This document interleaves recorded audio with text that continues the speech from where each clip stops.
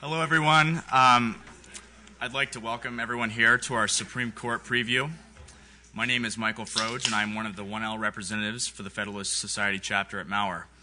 The Federalist Society is a group of conservatives and libertarians interested in the current state of the legal order. It's founded on the principles that the state exists to preserve freedom, that the separation of governmental powers is central to our Constitution, and that it is emphatically the province and the duty of the judiciary to say what the law is, not what it should be. The society, society seeks to promote, promote both an awareness of these principles and further its application through activities, debates, and discussions like we have here today. So today it is my privilege to introduce our distinguished panelists. Ilya Shapiro, on the far left, is the director of the Robert A. Levy Center of the Constitutional Studies at the Cato Institute and publisher of the Cato Supreme Court Review. Before joining Cato, he was a special assistant and advisor to the multinational force in Iraq on rule of law issues and practiced at Patton Boggs and Cleary Gottlieb. Mr. Shapiro is the co author of Religious Liberties for Corporations, Hobby Lobby, the Affordable Care Act, and the Constitution, and editor of 11 volumes of the Cato Supreme Court Review. He's contributed to a variety of academic, popular, and professional publications, including the Wall Street Journal, Harvard Journal of Law and Public Policy, Washington Post, LA Times, USA Today, and National Review, to name a few. He's also provided commentary on various media outlets, is a legal consultant to CBS News, and once appeared on the Colbert Report. Mr. Shapiro has testified before Congress and state legislatures and has filed more than 300 amicus briefs before the Supreme Court. He lectures regularly on behalf of the FedSoc, was an inaugural Washington Fellow at the National Review Institute and a Lincoln Fellow at the Claremont Institute. In addition, he has been a adjunct professor at the George Washington University Law School and University of Mississippi Law School. He's also the chairman of the board of advisors of the Mississippi Justice Institute, a barrister of the Edward Coke Appellate Inn of Court, and a member of the Virginia Advisory Committee to the U.S. Commission on Civil Rights. In 2015, National Law Journal named him to its 40 under 40 list of rising stars. Before entering private practice, Mr. Shapiro clerked for Judge Jolly of the U.S. U.S. Court of Appeals for the Fifth Circuit. He holds an A.B from Princeton University, a master's from the London School of Economics, and a JD from the University of Chicago Law School. Closest to me is Professor Ryan Scott, who joined the Maurer School of Law faculty in 2009. He teaches and writes on criminal law and procedure, federal courts and jurisdiction, and the separation of powers. Professor Scott has written extensively on criminal sentencing. He has also studied efforts to influence judges indirectly through the judicial appointments process, strategies for encouraging judicial retirements, and the semi retirement of senior judges. After graduating from the University of Minnesota Law School, Professor Scott clerked for Judge McConnell on the U.S. Court of Appeals for the Tenth Circuit. He then served as a Bristow Fellow in the Office of Solicitor General of the United States.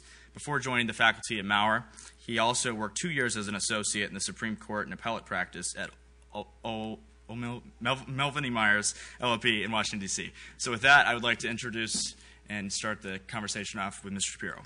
Thanks. Great. Uh, thanks very much. Uh, thanks for having me back. I think I was here just this past spring, so uh, either I did a good job then, or we just can't convince anyone else to come to Bloomington. Either way, I'm happy to be here for your uh, your, your, dining accompaniment.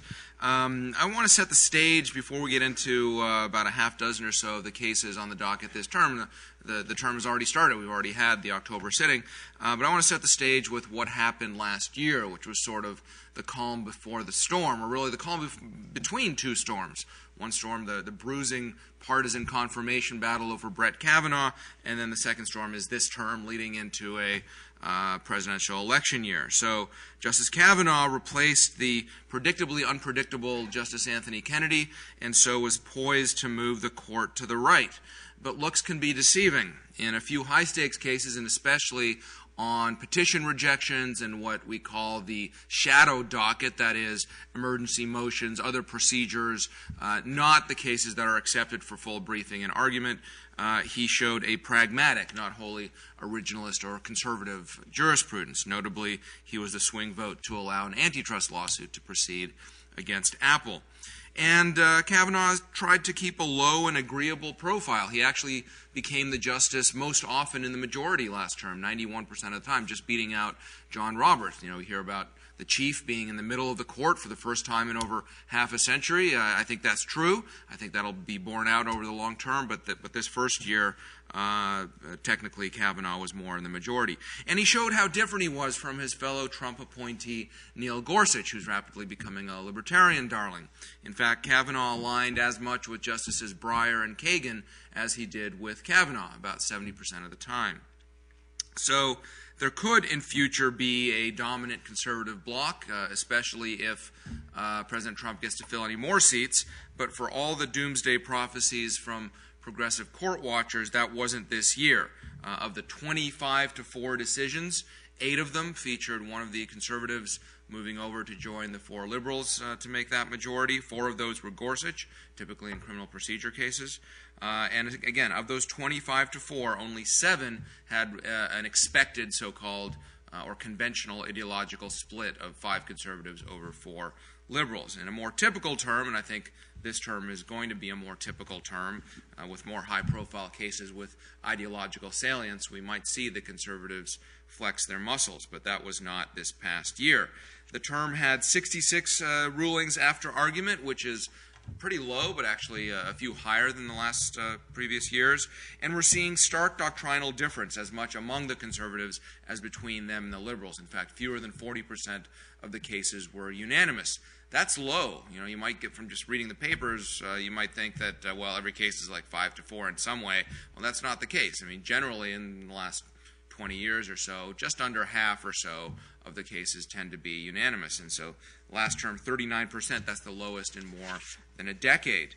Uh, the court reversed or vacated just under three quarters of the cases it took up. So, just getting the court to hear your case is more than half the battle if you're the petitioner. The Ninth Circuit uh, was reversed the most, to maintain its crown as the, the biggest loser, attaining a 2 and 12 record. 86% reversal. Now, which justices were in the majority? I, I, mentioned that Kavanaugh was first, then Roberts narrowly behind, followed by Alito and Kagan at 82% in the majority. Nobody else broke 80, which is unusual. But then the floor was very high as well. There was a four way tie among Thomas, Ginsburg, Sotomayor, and Gorsuch, who were each in the majority 70% of the time. So a high floor, no big losers among the justices. Again, unusual uh, adds to, to kind of the unusual nature of the term. Gorsuch, notably, was in the majority the most in the 5 to 4 cases, 14 of those 20. In terms of justices agreeing with each other, not surprisingly, Roberts and Kavanaugh were most in agreement in all but four cases. Um, then uh, Ginsburg and Sotomayor, then Alito and Kavanaugh. The rest of the pairings were below 90%. Notably, Sotomayor and Kagan agreed uh, with each other in all of the five to four cases. You don't typically think of Sotomayor and Ginsburg on the left, Kagan and Breyer somewhere more you know, moderate left, but in the five to four at least, that's what happened.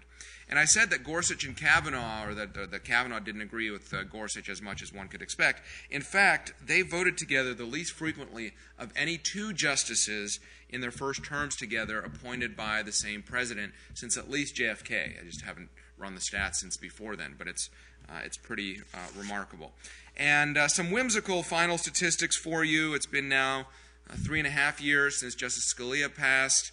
Uh, he, uh, when he joined the court, he really changed its tenor. It became a, a hotter bench you know, lots and lots of questions. You, counsel can, can't even get a sentence out before the next question comes. Well, with his departure, are we going to quiet down a little bit? Uh, well, we've now had three years of experience, and the answer is no. All of the justices have uh, stepped up to fill the void. Uh, Justice Sotomayor has solidified her title as the most frequent interlocutor, 24 questions per argument, and she asks the most in nearly half the cases. Gorsuch and Kavanaugh are about in the middle uh, with 15 questions a case. Justice Ginsburg, in- interestingly, um, maintained her run as the first questioner. I don't know if the others defer to her in some way, but she asked the, the first question in more than 40% of the cases. Even Justice Thomas got into the act this term. He asked three questions in a case called Flowers versus Mississippi involving uh, racial discrimination in jury selection, and that raised his average to one question every three years. All right. So that's what we had this last term. A couple of big cases you might have heard of. You might have had a Supreme Court review already, but I think Gundy and Kisor, the pushback on the administrative state, are going to be known as the, the biggest cases of the year, overshadowing the, the, the last day when we heard the had the, the census case and the uh, partisan gerrymandering, which uh, were interesting but did not change the status quo at all. Now, this term, I'm going to take the lead on uh, three cases. Uh, Professor Scott's going to take the lead on a couple, and then we and then we're going to both uh, uh, discuss one uh, a cert grant that just happened this past Friday that I had a, a piece in National Review uh, yesterday on uh, a separ- important separation of powers case. So the first case I want to discuss is New York State Rifle and Pistol Association versus City of New York. This is the first Second Amendment case that the court has taken in over a decade. So District of Columbia versus Heller. Uh, 2008, the court declares that the Second Amendment protects an individual right to keep and bear arms and strikes down an absolute ban that D.C. had inside the home. Two years later, it extended that ruling to the states through a process called incorporation. And that's a long and complicated uh, uh, issue. I've, I've written on how incorporation is actually a constitutional malapropism because if the framers of the 14th Amendment had wanted to simply say, you know, these amendments are now incorporated against the states or applied to the states, they could have said as much. They had the words in the English language. They did something different. But regardless, historical for various historical reasons, we have incorporation in that way. Uh, and but since that, since that 2010 ruling, uh, which was a 14th Amendment ruling after all, not fleshing out the scope of the right to arms, uh, the court has not taken up any case. Uh, and so lower courts are all over the place, not just in what kinds of restrictions and regulations uh, satisfy or pass muster under the Second Amendment, but which uh, how to evaluate them, which standards to apply, whether it's scrutiny levels, whether it's um, you know how much history to look at, you know all these different things, all over the place.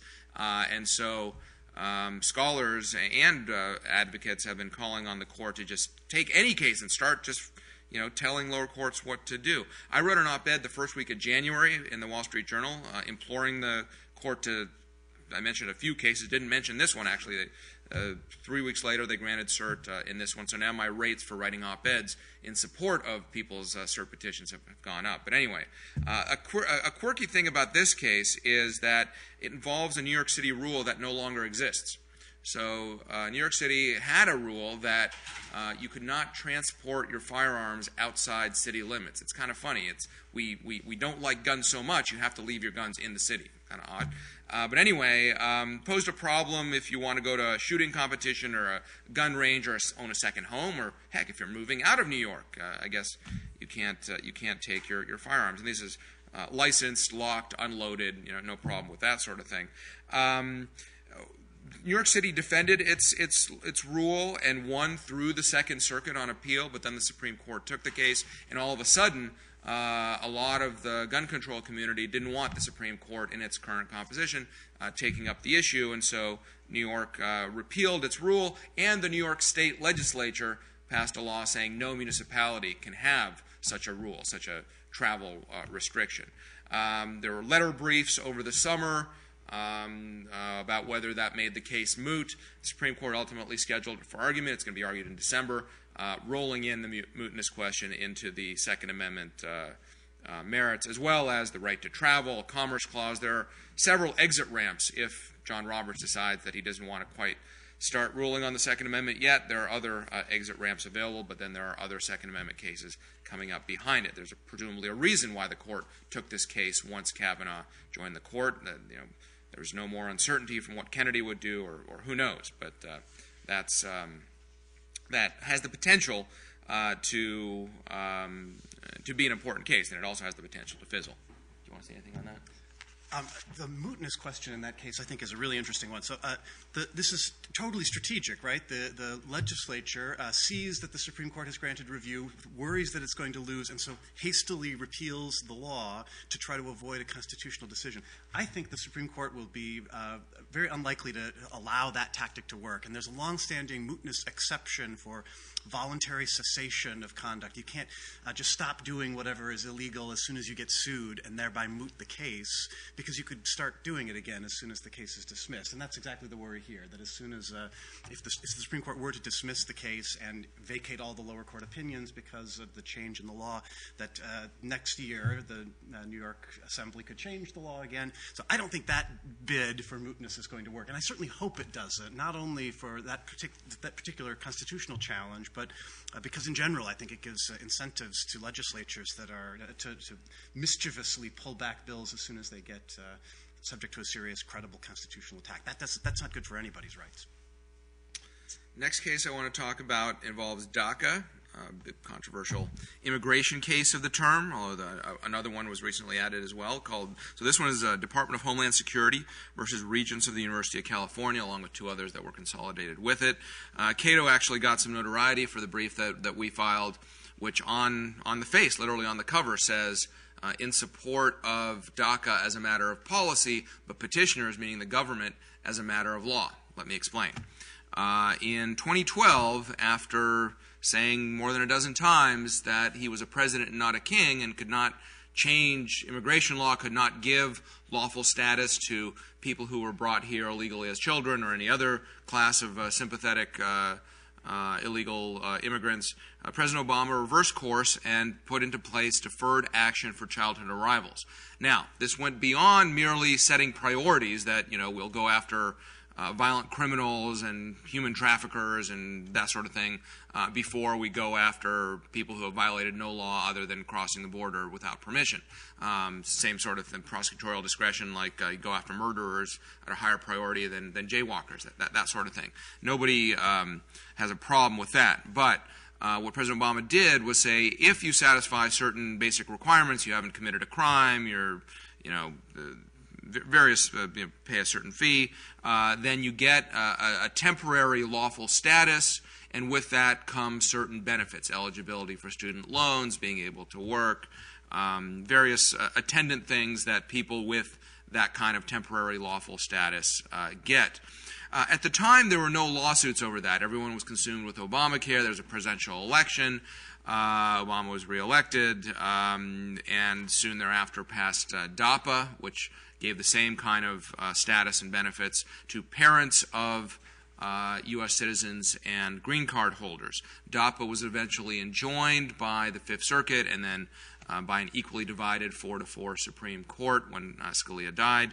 Uh, and President Trump eventually uh, rescinded DAPA. And a little while later, he also went to rescind DACA.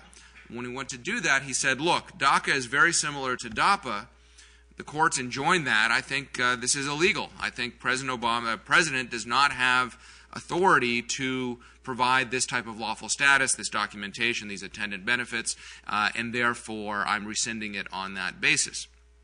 Uh, the lower courts, several lower courts, as I said, three consolidated uh, cases, said, um, well, look, um, you are the president. Uh, president Obama had an, ex- this was an executive action you probably could have rescinded the executive action because you didn't like the policy. Maybe there are other considerations, reliance interests, and other things that we might want to look at. But you know, you would have been on firmer ground. But because you said that you're rescinding it because the law told you you have to effectively, this, you, you, consider this beyond presidential authority, well, then we get to evaluate it from the beginning. And, uh, you know, we don't agree that it's necessarily illegal. Uh, and therefore, uh, uh the lower courts enjoined the rescission uh, of, uh, of DACA. Um, you know, competing arguments on this. Uh, does the government even have to provide a reason? Uh, do courts get to evaluate what that reason is? If, if, again, it's just prosecutorial discretion, executive action, not creating new law. On the other hand, if there's an element of creating new law that President Obama uh, went through, uh, that require some sort of more formal rulemaking to rescind or something like that, well, that would be unusual, and that would then, you know, bring us back to the, whether that was illegal in the first place. And uh, kind of a tertiary point that, that, that I made in my brief. Um, that really raises issues of non delegation. This Gundy case last term talked about how Congress can't uh, delegate the legislative power to anyone, including the executive branch. Well, if the immigration laws themselves were drawn so broadly as to give the president uh, power to, you know, write who can give status who, and, and what benefits and all of this, then there's really a delegation problem. And court, you should. Uh, in the interest of avoiding ruling on this controversial big constitutional issue, just defer to the executive's judgment that it's uh, that it's unlawful and, and save the larger uh, issue for another day. We'll see what happens. I think chances are the court is going to say in some manner that uh, when you have when you live by executive action, you die by executive action. What Obama can do with a pen and a phone, Trump can do with a pen and a phone and a Twitter account. Uh, but we'll see. Uh, we'll see what happens. I, I got nothing to add on that. Okay. Um, the third case that I'm going to take the lead on is the big uh, religion clause case slash school choice education law and policy case called Espinoza versus Montana Department of Revenue. Um, Montana, like uh, many states these days, have uh, uh, a tax credit scholarship program. That is, any state taxpayers can donate to this to a scholarship organization. There are many scholarship organizations, uh, and then take a credit off of their state taxes for uh, their donation. And then those scholarship organizations solicit applications from students and their parents, K to 12 students and their parents, uh, for these scholarships, which they can then, which the students and their parents can then choose to use at a variety of schools, be they secular, religious, Montessori, you know, all these different kinds of structures of, of, of independent, uh, non uh, non governmental schools.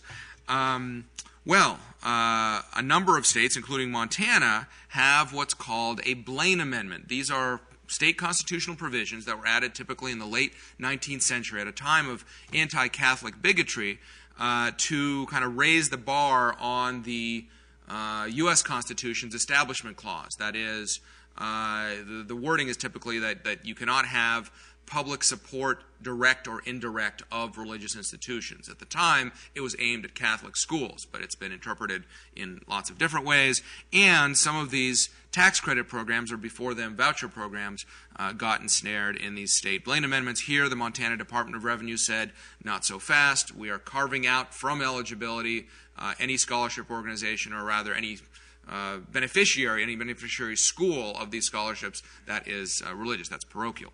Uh, the Montana Supreme Court, on, on reviewing this, did a curious thing. It said, look, uh, Montana Department of Revenue, you don't have the authority to make these kind of carve outs and these decisions.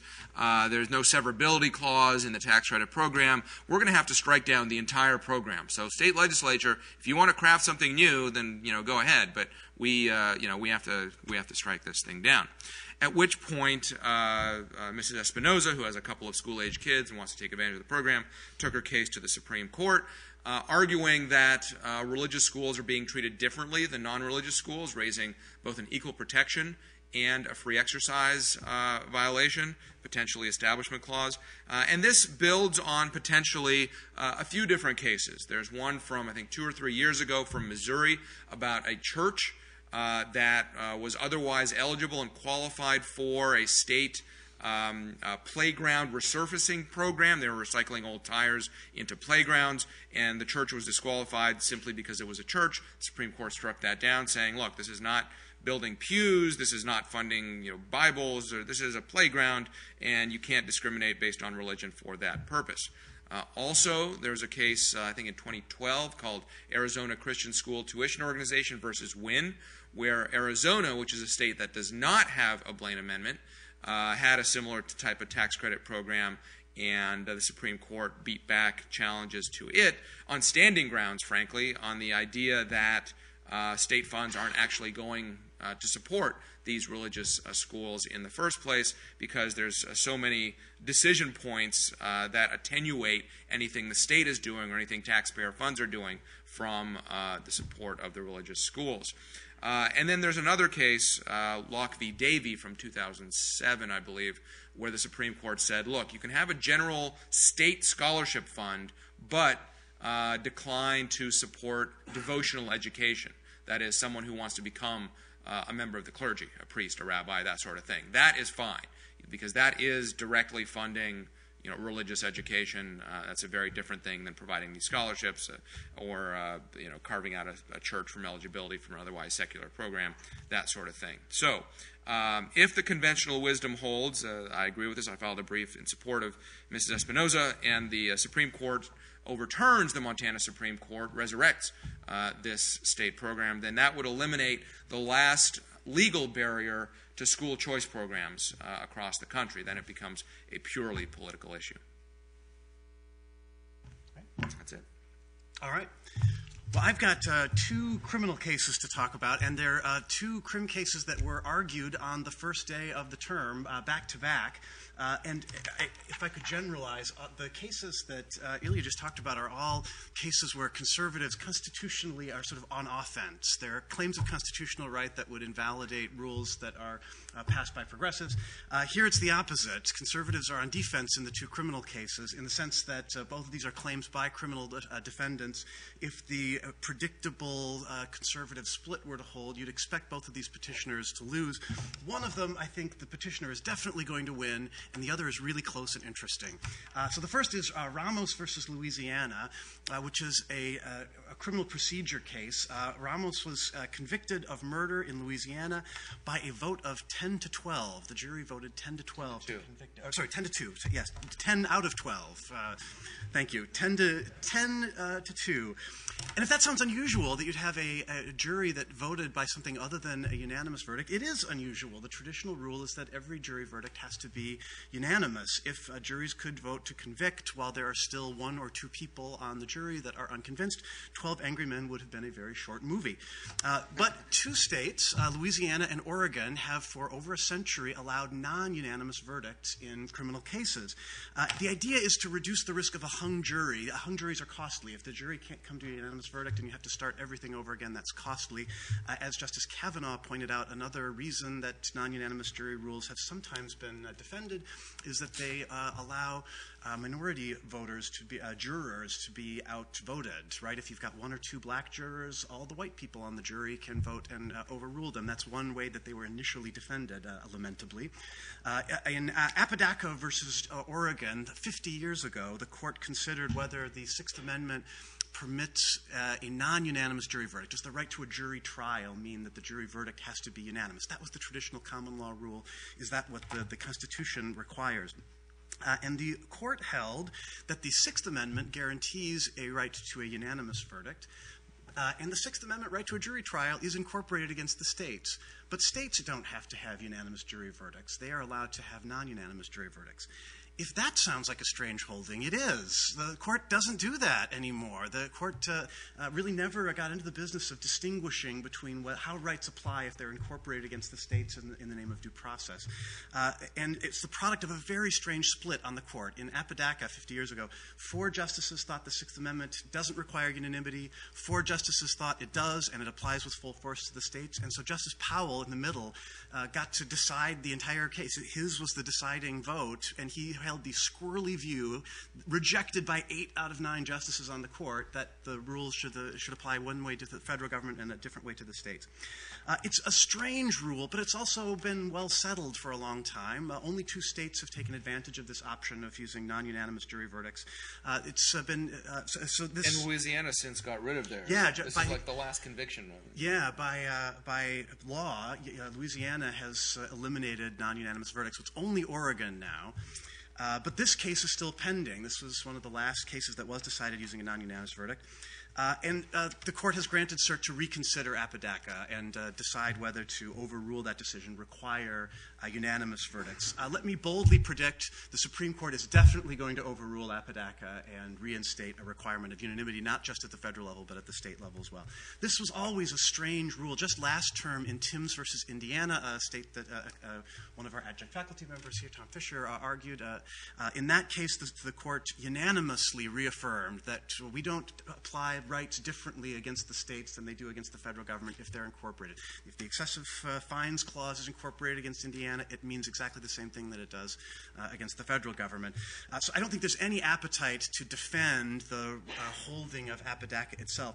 Indeed, the state doesn't even defend Apodaca. The state says we should overrule Apodaca, but the other part of Apodaca, the part that agreed that the Sixth Amendment guarantees a right, to a unanimous jury verdict, um, based on the oral argument, I don't think there's any chance that uh, the, uh, the state is going to prevail on this one. I think there's a, uh, uh, this is they didn't grant cert in this case to reaffirm uh, Apodaca and leave nothing intact. They, the fact that they granted cert in this case is a very strong signal that they're ready to overrule it. in fact, I think the most exciting thing will be to read the justices' opinions for what they say about stare decisis, because like every case in which the court overrules one of its precedents, there really talking about abortion. That's what all the opinions are secretly about, and they're all tiptoeing around saying anything that would get them in trouble later should an abortion case come, and they want to uh, be seen as consistent with everything that they've said before. So that's Ramos. Uh, an, an, interesting case that only affects a small number of, uh, of uh, convictions in a, a, couple of states. Say a couple but, things about yeah, that. Yeah, of course. So first, um, I haven't done the research on this. In Timbs, it's quite clear that excessive fines protections, you know, date back to colonial times, date back to the common law in England. So really deeply rooted in, in history and tradition as the Glucksberg standard for uh, applying uh, rights to the states for incorporation uh, uh, holds. I'm not sure. Uh, maybe you know. Is, is this similarly? Um, you know, were unanimous juries from the you know, institution of criminal you know lay juries? Uh, was there a similar, you know, tradition it certainly of that? was all through the founding. Okay. Uh, Louisiana started 100 years ago, so like, right. know, late 19th right. century. Um, that kind of history matters too. Yeah. Uh, the, the, older the rule is, uh, the, the, stronger it is. But uh, it's certainly a departure from the founding era and uh, and older. that said, it's it's reading Apodaca and uh, uh, the cases about the size of a jury, the method that the court uses today to evaluate due process and incorporation claims is just vastly different than the one it was using 50 years ago. A lot of discussion about unanimity is whether it's a good idea. Is, does unanimity help jurors make better decisions or not? The, the briefing today is all about history. It's much more about uh, uh, whether this is the kind of rule that enjoys broad, uh, consistent historical support. I think there's, there's been a, a, a, sea shift in the way the court thinks about these constitutional questions. Uh, the, the state actually says, well, yes, okay, the history is against us on this unanimity thing, but it's against us on the size of the jury too. And you said we could have smaller juries right. than 12 people. So that's the kind of that's the level of the debate that we're at uh, when it comes to uh, history and how it relates to the Sixth Amendment. The other thing I wanted to mention is uh, you said at the very end that you know why would they take this case if not to overrule Apodaca? There's no circuit split, that sort of thing. Well, that's what people were thinking last term in the other big criminal case, Gamble. Uh, regarding the uh, separate sovereigns exception to the uh, or doctrine uh, regarding the double jeopardy clause. There were no circuit splits, and somebody was prosecuted for quote unquote the same offense under both federal and state law. Uh, why would they take up the case if not to reverse or cabin somehow in light of the explosion of the federal criminal code and the overlap between federal and state criminal law?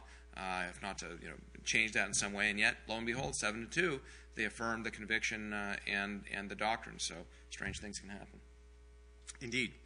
Uh, okay, the other criminal case that got argued at the first day of the new term uh, is a closer and it's a more interesting case. Uh, the question in the case is whether the Eighth Amendment and Fourteenth Amendment permit states to abolish the insanity defense. You may remember from your first year criminal law class, uh, especially if you were in mine, uh, that states uh, take a wide variety of approaches to the, the insanity defense. Uh, the, most of them are built on the McNaughton test. This is an 1843 decision, uh, an English decision, uh, that allows an insanity defense when a, a, person, because of mental disease or defect, is incapable of understanding what he was doing, incapable of understanding the, the nature of his conduct or incapable of distinguishing right from wrong, incapable of knowing that uh, his conduct was wrongful. Uh, some states add an additional kind of uh, defense for a volitional incapacity. This is the so called irresistible impulse test. Some states have adopted the model penal code variations on uh, versions of those tests that fo- uh, focus on a defendant's substantial capacity. One state still bravely clings to the product test. Just look for a causal relationship between mental illness and uh, the crime. Thanks, New Hampshire. Uh, mental illness, and then four states, including Kansas, have abolished the defense altogether. There is no affirmative defense called insanity in Kansas. Mental illness evidence is still admissible, but it only goes to criminal intent, to mens rea. It's admissible to show uh, that the defendant didn't know what or intend whatever it is that the defendant had to know or intend as a precondition for uh, criminal responsibility, uh, but it's not a freestanding defense of any kind. Uh, so the petitioner is uh, James uh, Kahler. He was allowed to introduce mental illness evidence on the question whether he intended to kill. But he very clearly intended to kill. He uh, killed his wife and his mother in law and his two, two, teenage daughters. He was uh, angry and depressed because she had an affair. But there wasn't any question that he knew what he was doing and he intended to kill. So he, what he wasn't allowed to do was bring in mental health experts to claim that he was incapable of uh, showing right from wrong or couldn't control himself, the kind of uh, insanity defenses that would be available in other states. It's another due process claim, a Glucksberg style claim, uh, and it's a heavy burden for a challenger to establish this kind of history, a deeply rooted history. That's the sort of uh claim that due process would protect. Uh, and the court has rejected a similar kind of claim before. In Clark versus Arizona in 2006, uh, the court considered a due process challenge to Arizona's insanity defense. Arizona once had the, the two parts of the McNaughton formula cognitive and moral uh, incapacity, uh, and it eliminated the first prong. It said, we're just going to have moral uh, incapacity, no cognitive incapacity. And the petitioner in Clark said, uh, that violates due process. Due process requires the full McNaughton, uh, of both parts. Uh, and a majority of six justices. That sounds like a movie, the full McNaughton. Yeah. Uh, in, in, the majority of uh, the, the, court, uh, six justices, an opinion by Justice Souter, and no justices dissented on this point. So, to the extent anybody reached it, it was unanimous. Said due process doesn't prohibit states from paring back on McNaughton to just the second part of that formula. And a lot of the language of, in Clark is going to be helpful to the state of Kansas as it defends its decision to uh, eliminate the defense altogether. Uh, it stressed that defining crimes, defining the elements of crimes, defining the scope of defenses to criminal liability, those are traditional state responsibilities. The Constitution doesn't have uh, much, if anything, to say about them. Uh, it's, uh, and that's especially true for something like insanity, which is a very complex set of moral uh, medical, criminological questions. Insanity is an especially uh, tricky area, the, the kind of area where the Constitution seems like the least attractive uh, way to, uh, uh, to regulate. Uh, Justice Kagan, at oral argument, asked a question of the, the petitioner's counsel, saying, uh, I understand you say this is a historical requirement that insanity take this form, but aren't there lots of historical defenses to liability that we don't respect anymore? Things like the marital rape exception, things like uh, burglary having to be committed at night in a dwelling. We've abandoned a whole lot of elements of crimes and defenses over the years. Why should this be the one that due process uh, guarantees forever, and the others we're free to abandon when we think they're no longer a good idea? Uh, I'm not sure how serious she was else about that question. I think she can probably find a way to, uh, uh, to distinguish those uh, kinds of elements, but, uh, but it gives you a sense of the difficulty. And that background, the idea that states uh, have a lot of flexibility in this area, is certainly helpful. Uh, that said, the claim here is a lot stronger than the claim in Clark because what the Clark petitioner was asking for is this, precise two part formula adopted in 1843 is uh, protected by due process. That's a heavy lift because it didn't come along that, uh, until McNaughton, it had never been formulated that way. Uh, lots of states have taken different uh, approaches to insanity uh, over the years. Uh, to say from this variety of approaches that states have taken that this is the one and only one way to phrase your insanity test, that's a heavy lift when it comes to due process.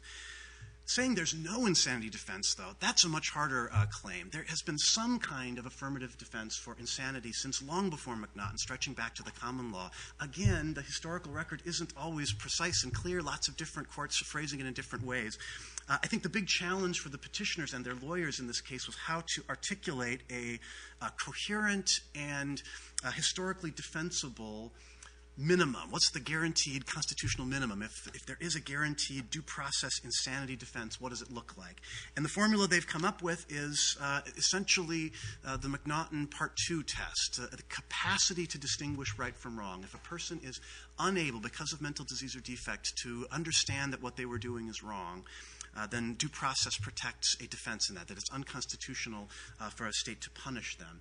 Uh, and there's a related Eighth Amendment claim that, uh, under the Eighth Amendment uh, rule, that a, a, punishment that serves no purpose, uh, that, that, serves no retributive or deterrent purpose, uh, is uh, unjustified, is a violation of the Eighth Amendment. that likewise, punishing someone who lacks the capacity to know that they were doing right or wrong is unconstitutional. There's one other part of Clark that I think might play a, a role in this case. The other reason that Justice Souter said that uh, the Clark formulation passed muster is he kind of rewrote it. He kind of reformulated the way that it worked. Uh, or, or, more accurately, he accepted the state's uh, reformulation of how it worked. Uh, yes, the state eliminated the cognitive uh, prong of uh, McNaughton.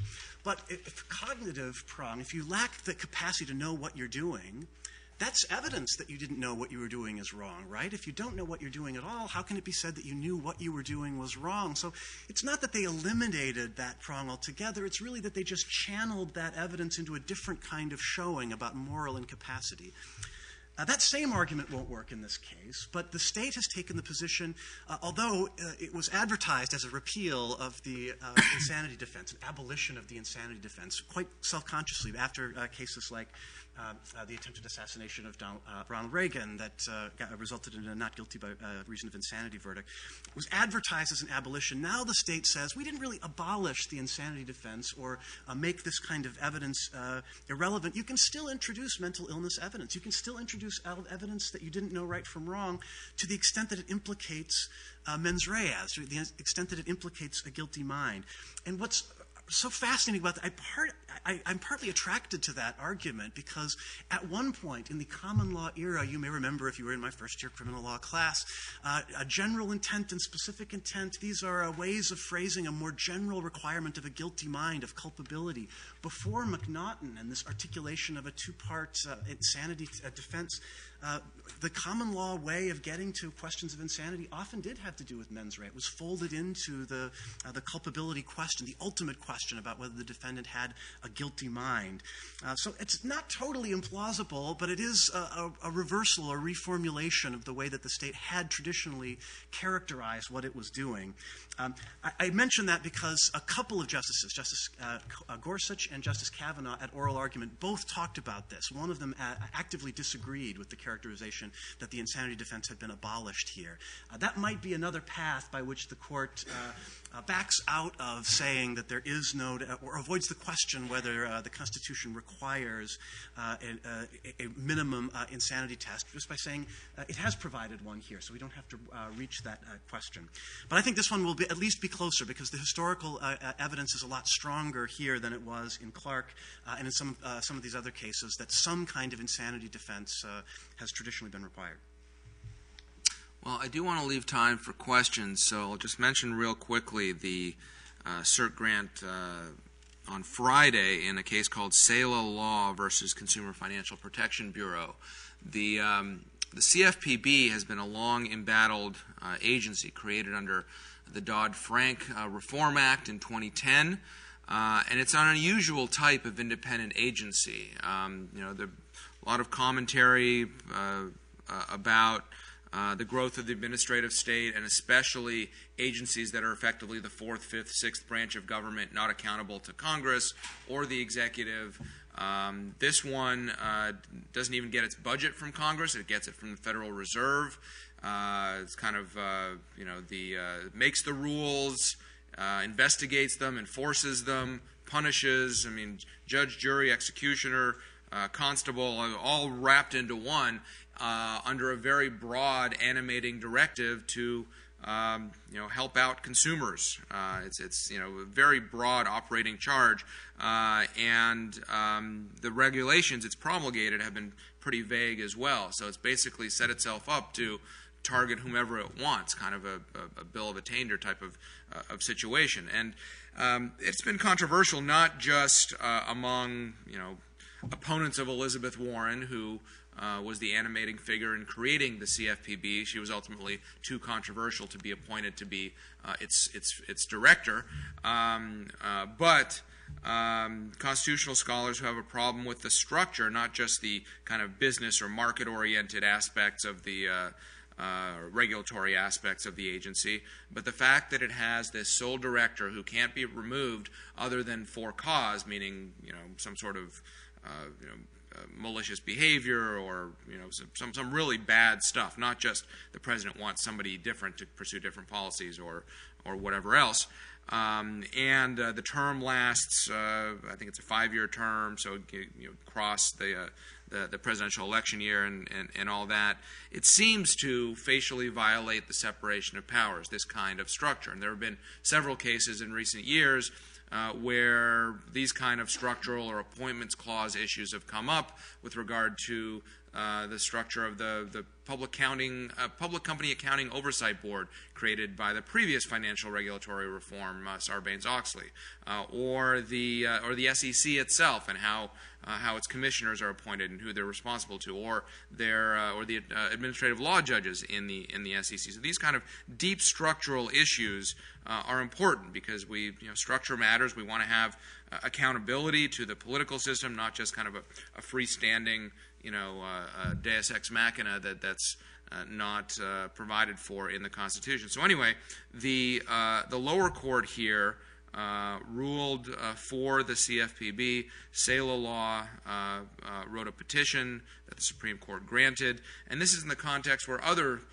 kind of similarly structured agencies are also under attack from similar separation of powers concerns. The federal uh, Housing Finance Agency, FHFA, which is the parent organization of Fannie uh, Mae and Freddie Mac, uh, was held to be unconstitutional, although the remedy was unusual by the en uh, Fifth Circuit Court. There are other cases coming up. So, anyway, this uh, could be a blockbuster for uh, the way different kinds of administrative agencies are are put together. And then there's a separate consideration of what the remedy is. Is everything that it's done now uh, wiped away? Can you uh, retroactively ratify? Um, and this is being taken up uh, also uh, while the court heard argument during the same week about the Financial Oversight and Management Board for Puerto Rico. Uh, similar appointments clause concerns over that unique board that, that Congress established to deal with debt restructuring on the island.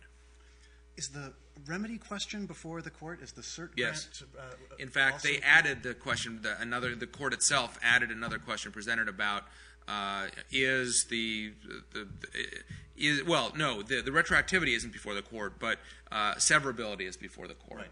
So. Uh, the Fifth Circuit, when it was evaluating the FHFA, found the structure unconstitutional, but sort of the remedy was, well, okay, you know, fix the structure and then re-ratify your stuff and that there were different majorities in that 16 judge en banc court uh, for those two rulings. Uh, so what? Uh, just I'm curious. I, I, guess now that we're at the question and answer period, let me ask the first question. um, on that route, I, I, think the the structure uh, question in uh, in the, CFPB case is is likely to go against the government. Um, that is to say, I think it's likely to be found uh, unconstitutional. Well, especially since the government, the CFPB itself now under new management, right. is now against itself, basically. Uh, but the remedy question seems like a formidable one. So, uh, what are the range of options that the court has here? I mean, I guess one is you could sever, you could strike down only those provisions that insulate the, the leadership of the CFPB from uh, control by the president uh, and Congress and uh, I guess the purse strings control of the Congress, right? Just excise those portions that insulate it from political accountability. Which is what the court did in the Peekaboo case, Free Enterprise Fund. Peekaboo is Public Company Accounting Oversight Board. We have fun acronyms in D.C. Uh, do you think that's the likely uh, Probably. outcome? All right. Probably. Uh, and then what would that although, mean? Although, Kavanaugh is a major player in this. He ruled in a similar case against the CFPB on the D.C. Circuit panel, he voted to strike down the whole thing. Right before the en before the en banc D.C. Circuit overturned him. Yeah. Uh, did he have anything to say about the remedy in that case, uh, just to give a sense of what he might think? I, I think he went full bore. Just it's the whole structure is whole unconstitutional. I think all so. of its acts were I lawless. think I think that's right. Okay. Well, that would be a much more dramatic uh, outcome. Uh, I, I, I, imagine there'll be a lot of people on the court uncomfortable with that course of action. Okay, we'll throw it open to you. Uh, questions about the upcoming term? Yeah. Sure.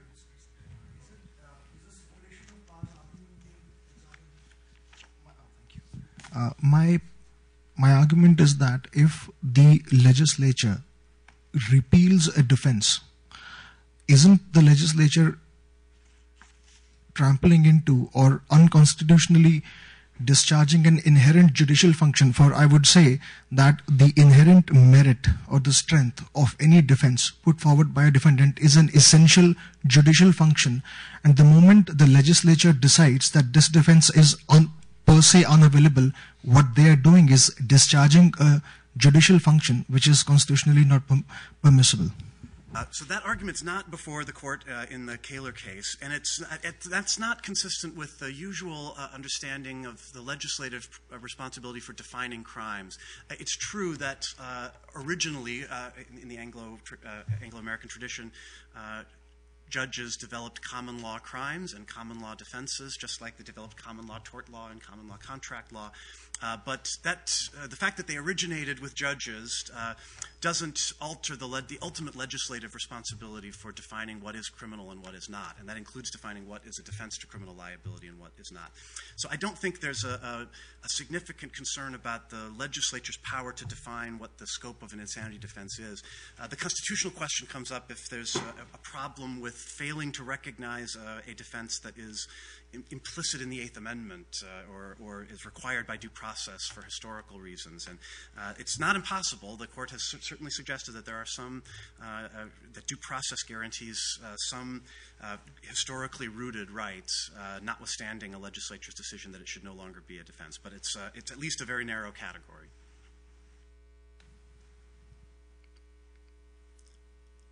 We didn't mention the uh, the abortion cases. That was the previous Friday cert grant. Uh, the arguments over sexual orientation and gender identity and employment discrimination law. That was uh, a series of cases that were argued a couple of weeks ago. Bridgegate, right? Chris Christie's uh, little scandal.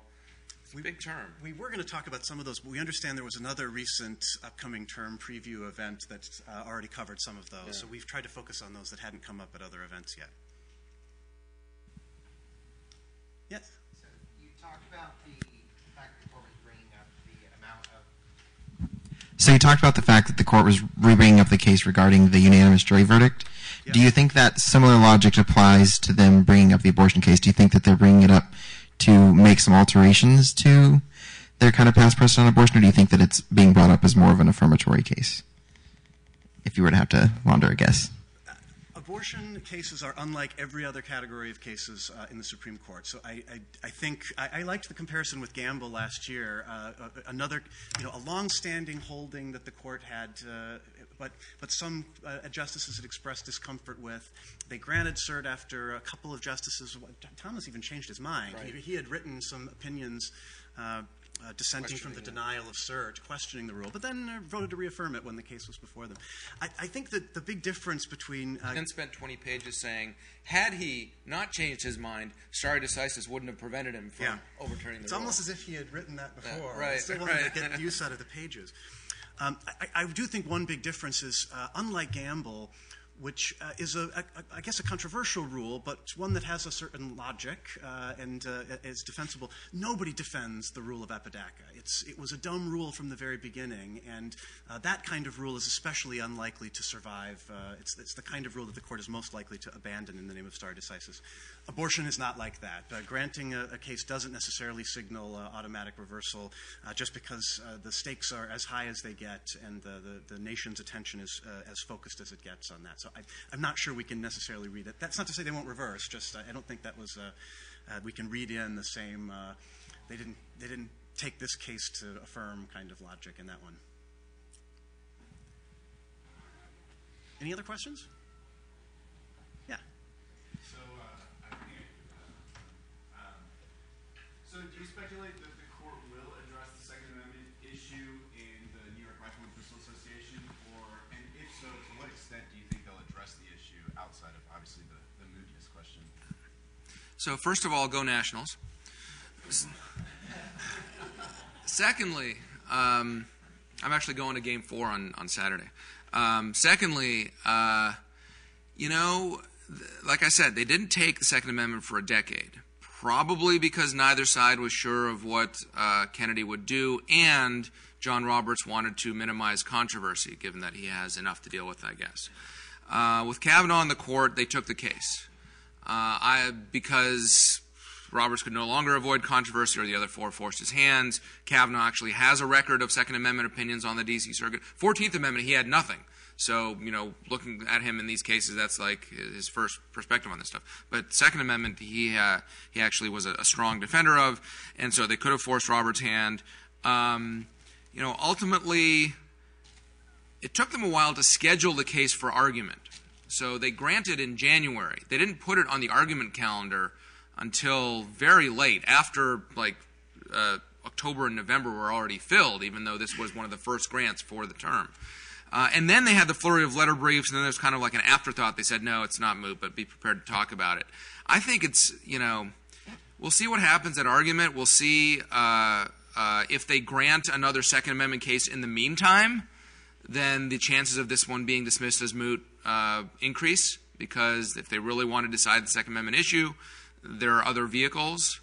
Um, at the same time, they took kind of the narrowest, weirdest gun restriction that they possibly could to be able to make new law on, so maybe that's why they want it.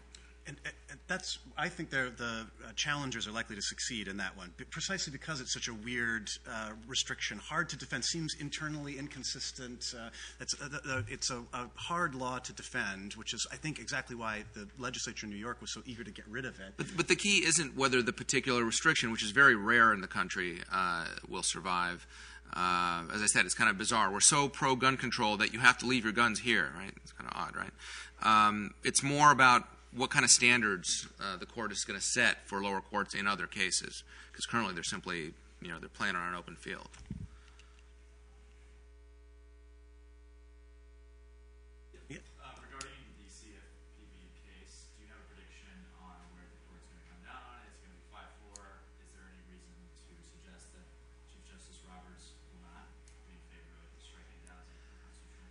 I could see it being more than 5 4 on striking down the structure, but 5 4 on the remedy.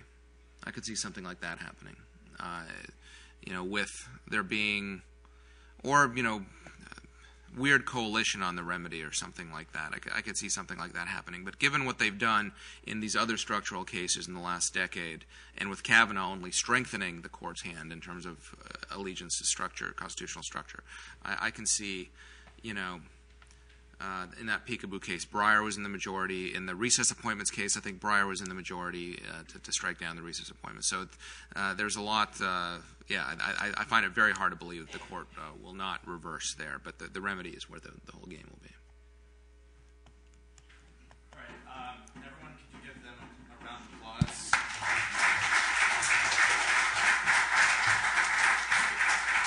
Thank you, everyone, for thank you, everyone, for showing up today.